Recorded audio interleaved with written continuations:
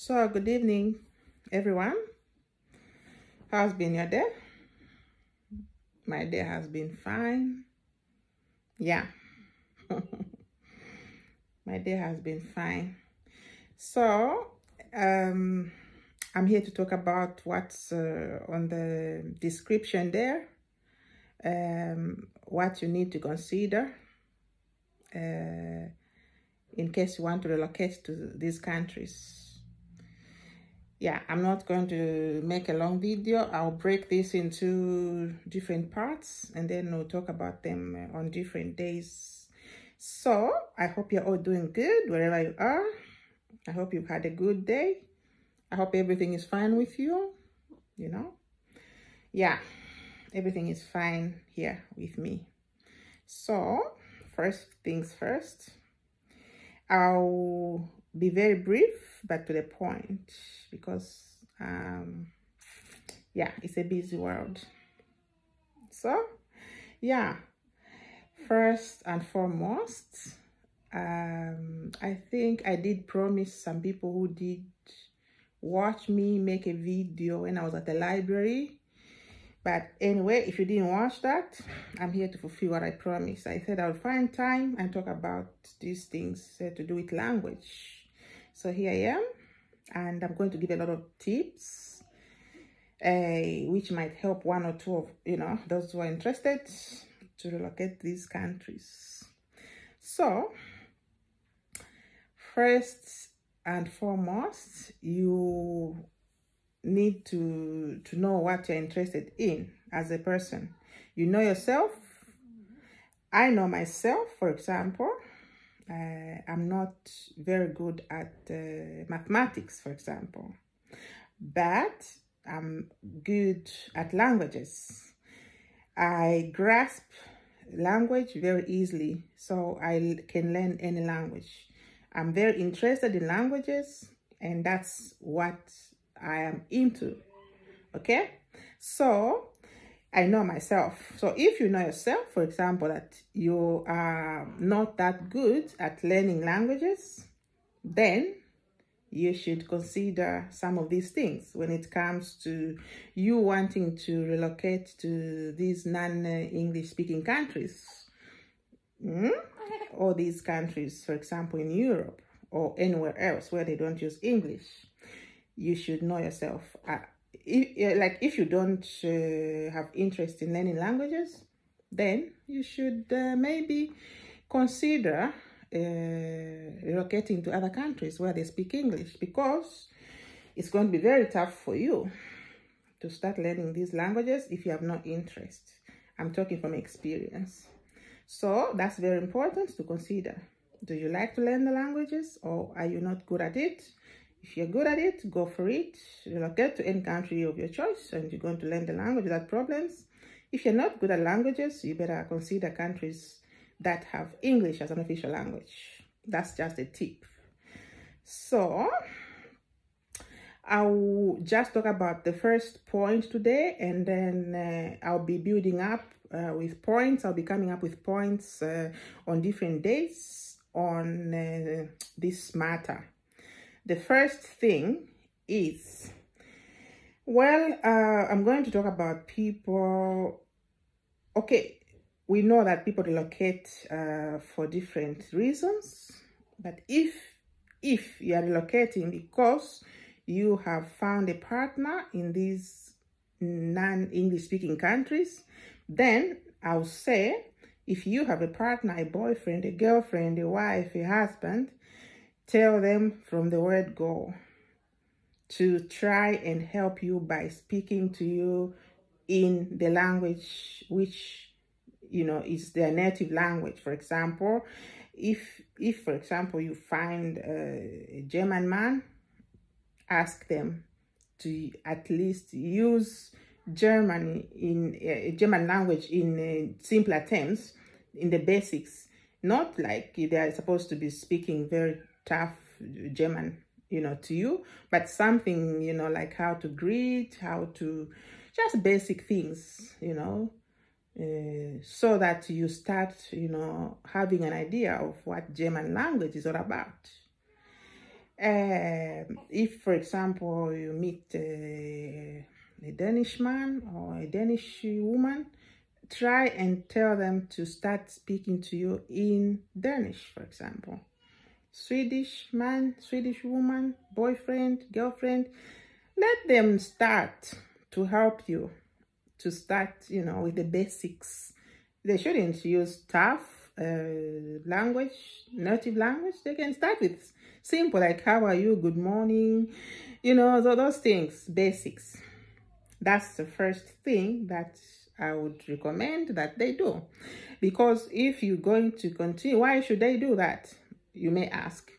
If they if you you have a for example a, a, a, a, swedish boyfriend a swedish girlfriend a swedish husband a swedish wife and you are communicating you know by using english it's not going to you know go very fast because of course you already know english so now that you are planning to relocate to a country where they're speaking swedish for example let them start uh, communicating to you you know it can be very simple in the morning they tell you how they greet in the morning, how they say this and that, you know, how they call this and that. Just these simple things. It's, it's going to help you. You're going to appreciate, you know, in the long run. So that's my first tip, you know. Yeah, I'm not going to bombard you with a lot of tips. You might forget. More tips to come okay in the next video. Uh, i want to make this very short and straight to the point so they can be of use you know to you who want to practice. So consider that as a very important tip you know. I know some will say ah but it's it's like uh, you know, sounds awkward for me to start like greeting you in my native language, blah, blah, blah. No, just tell them, no, I need to start learning so that I can be better by the time, you know, I'm there. So this is a very important tip. Okay. More tips to come. These tips are what, you know, uh, you know, they are going to yield good results they might seem very simple, but you're going to benefit from them. Okay?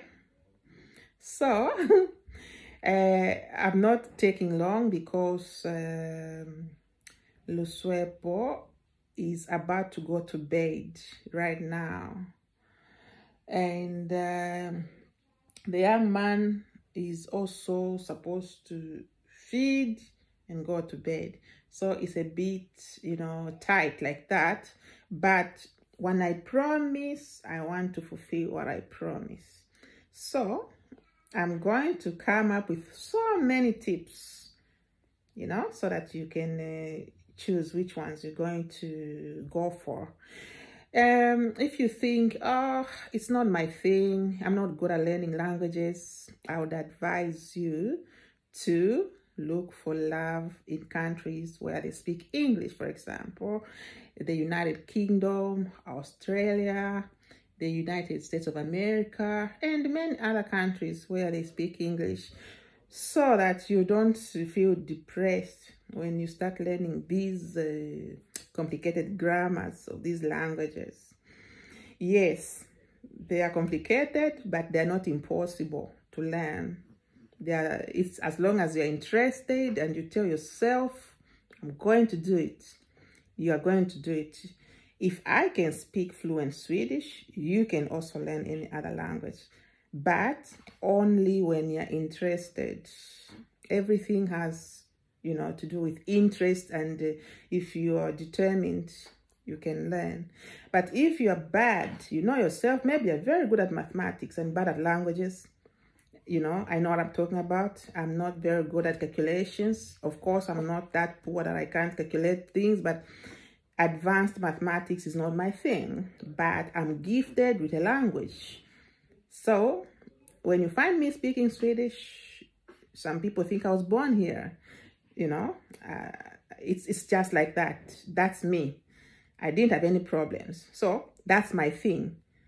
Because... Uh, I've studied linguistics and I know what I need to do to learn this language. How do I just grasp this grammar? And I have a way I do it. So that's what I wanted to say.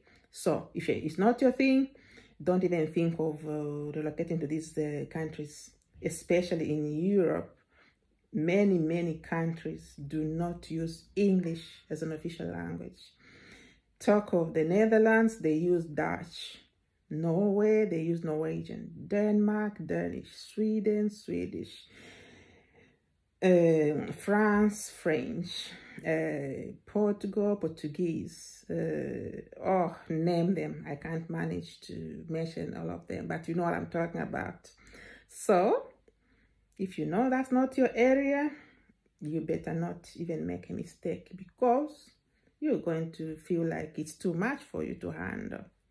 So that's what I can say to those. It's not, this is not for everyone. But learning language is also advancing your CV. You know, your CV will go up if you learn a new language. It's interesting, you know. So I'll come up with a lot of tips about things, things that people can, you know, benefit from. So, as I've already said, it's evening here and kids have to go to bed, especially Lusuepo. He, when he doesn't go to bed early, he's uh, restless and he's misbehaving. So that's why I'm going to make short ones like this. So I'll leave you for now and I'm glad that I gave you at least a tip to start thinking about. It's not everyone who wants to relocate, but if you are interested in, in you know, going to another country, this is for you. Relocating is not for everyone, you know. Relocating itself can be very, a hard choice to make. You leave your family, your friends, and everything that you love doing. You go to a strange country and you adjust. It's not as easy as it sounds. It needs you to be, you know, uh, courageous. So, this is not for all of you, but for some. So, and if it's not for you, of course, I appreciate that and I respect that. We all have different priorities and we all have different interests in life. So I'll leave you here, okay? So look out for tip number two. Okay? Have a pleasant night and remember to keep smiling, to keep it real, to be positive, to be peaceful. You know, it's draining to be to have conflicts with people. A peace of mind is very, very important, at least according to me. So I leave you here and have a pleasant evening. So, bye bye. I love you all.